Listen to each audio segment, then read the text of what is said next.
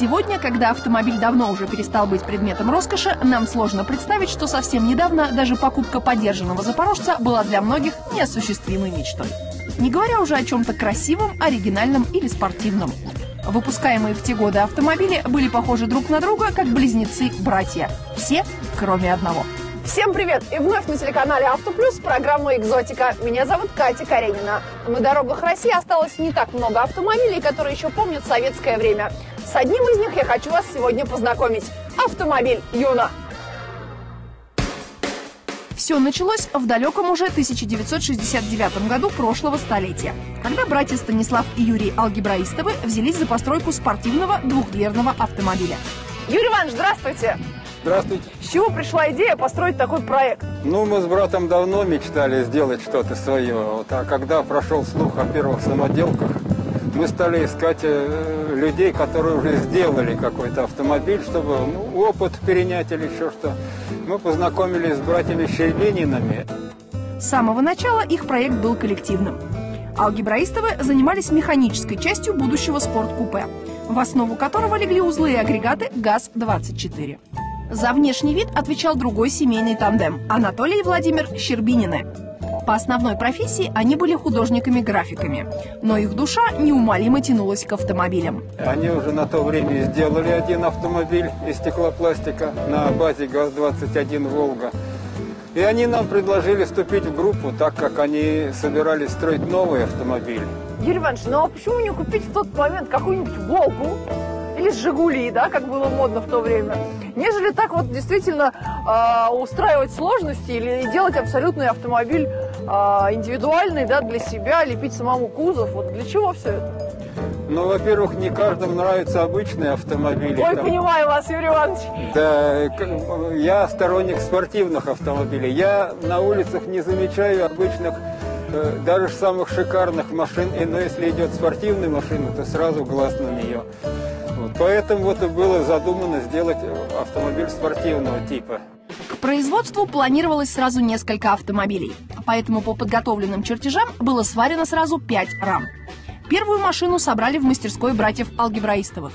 На нее установили двигатель и оттащили на буксире на родину Станислава и Юрия в город Сасово Рязанской области. Там ее доработали и своим ходом вернулись на ней в Москву, где в течение двух лет успешно ездили без регистрации и номеров. Спустя некоторое время машину забрал в единоличное пользование Станислав, а Юрий стал думать о постройке собственной и еще через несколько лет смог воплотить свою мечту в жизнь. Ну а с чего все начиналось? Рисовался проект сначала. Э, Рисовалась рама, чертежи. Потом было сварено пять рам. Потом одну из рам затащили на седьмой этаж э, жилого дома, этого у метро Добрынинская. Там у братьев Щербиных была мастерская. Вот, там, значит, собрали тележку на раму, ну, ходовую часть. Поставили макет двигателя, чтобы были известны отправные точки. Сделали каркас деревянный, приблизительно уже известная высота, ширина. И потом, значит, э, пластилином стал э, наполняться этот каркас, чтобы вывести форму машины. Форму искалось где-то год, не меньше.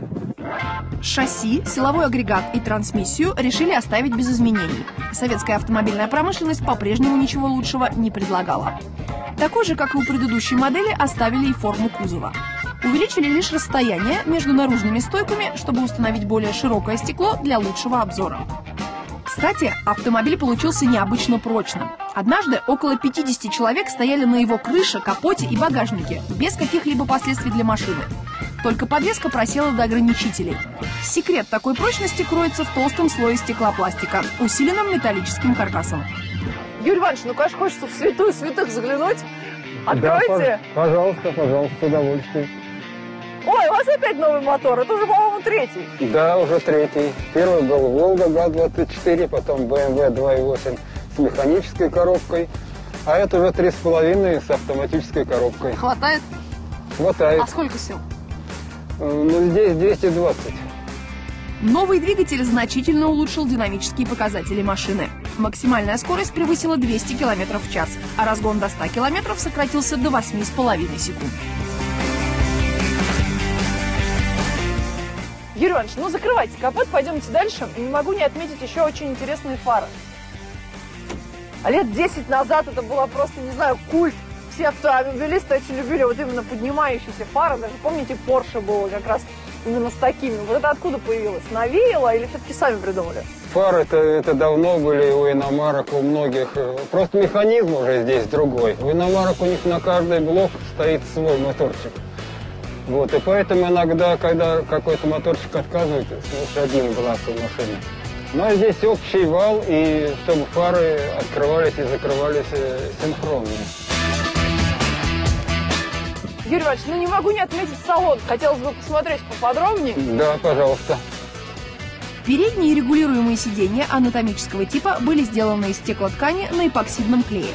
Задние составляли единое целое со стенкой, которая отделяла салон от багажника. На все сиденья был положен поролон, который обтянули кожзаменителем. Панели приборов от других машин мало подходили к внутреннему интерьеру автомобиля. Поэтому Юрий Иванович ее выклеил сам, расположив приборы и ручки так, как ему было удобно. Сейчас в салоне установлены передние сиденья Рикара, обтянутые кожей. Задние же остались самодельными, только их сделали раздельными с задней стенкой. Завершает изменение новая, полностью самодельная приборная панель. Я знаю, что вы на ней ездили раньше только летом. Сейчас вы ее эксплуатируете и зимой. Не хочется какую-то современную машину, напичканную электроникой. Все-таки эта машина очень красивая, но она, мне кажется, больше для музея уже подходит. Нет, это всесезонный автомобиль. Она ездила и зимой, и летом, и прошлые времена, когда она еще не была переделана. Машина была готова в 1982 году, и после официального заключения специалистов НАМИ ее признали безопасным транспортным средством. Автомобиль назвали «Юна» по первым буквам имен супругов Юрия и Наталья Алгебраистовых. Автомобиль несколько раз снимался в отечественных кинофильмах, таких как «Испытатели» и «Как стать счастливым». За его рулем сидели актеры Борис Щербаков и Николай Караченцев. А летчик-космонавт Владимир Дженебеков в течение нескольких дней ездил на ней, когда она участвовала во всесоюзном автопробеге самодельных машин Москва-Баку 1982 году. Юрий Иванович, я знаю, что руль этого автомобиля вы никому не даете. Нет, ну вам с удовольствием. Спасибо. Вы, вы уже ездили на ней, поэтому вам я без всяких сомнений. Спасибо, Юрий Иванович. Тогда присаживайтесь, не буду вас больше морозить. Да. И поговорим уже внутри более подробно про управление этим автомобилем. Хорошо, вы за руль. Если бы российский автопром выпускал автомобили такого качества, анекдотов про них ходило бы меньше.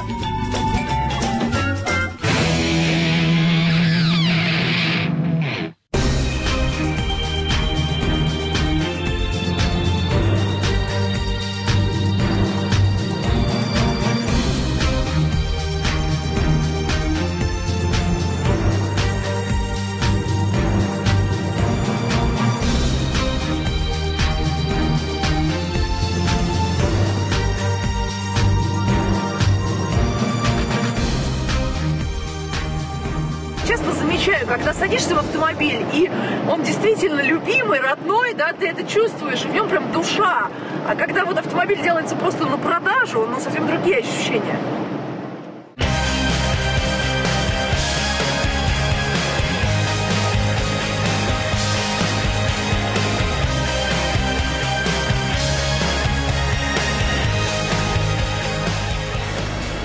Иванович, но гидроусилителя, конечно, явно не хватает, Не потому хватает. что все-таки современные машины, да, они нас а, обязывают к тому, что уже привычка садишься, да, и как-то уже даже об этом и не думаешь. А здесь, конечно, ну приходится все-таки поворачивать.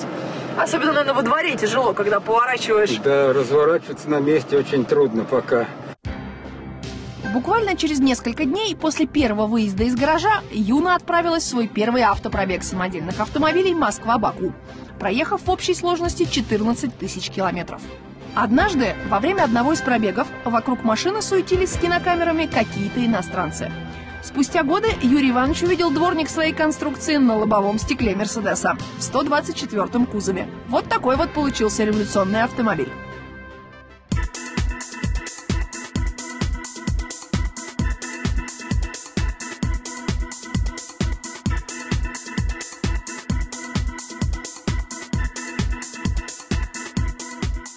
Я не представляю, какой фурор он производил вот именно в 80-х годах.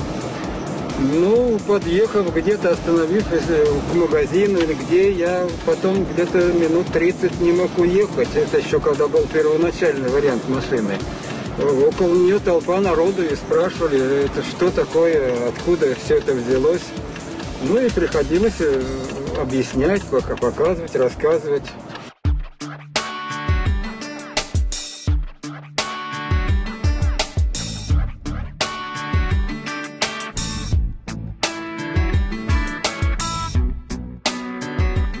Время своего существования Юна, конечно же, совершенствовалась.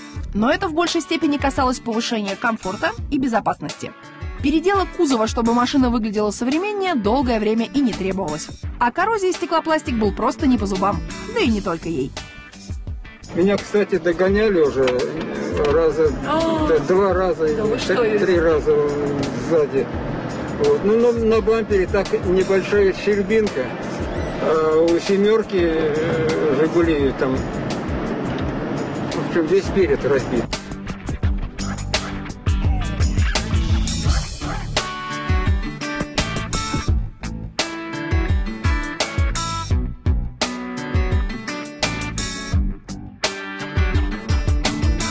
Про эту машину можно сказать всего лишь одно. Вот она, настоящая, качественная, ручная работа.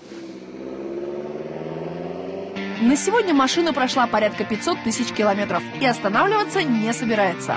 Остается только пожелать ей и ее владельцу крепкого здоровья и долгих лет жизни. Несмотря на то, что таких машин было сделано всего 5 штук, до наших дней дожил лишь этот экземпляр.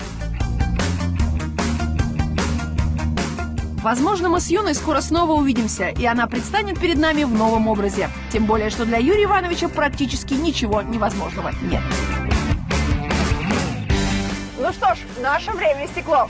Хотите стать героем программы? Присылайте фотографии своих транспортных средств на наш электронный ящик. Меня зовут Катя Каренина. Это была программа «Экзотика». Счастливо, пока!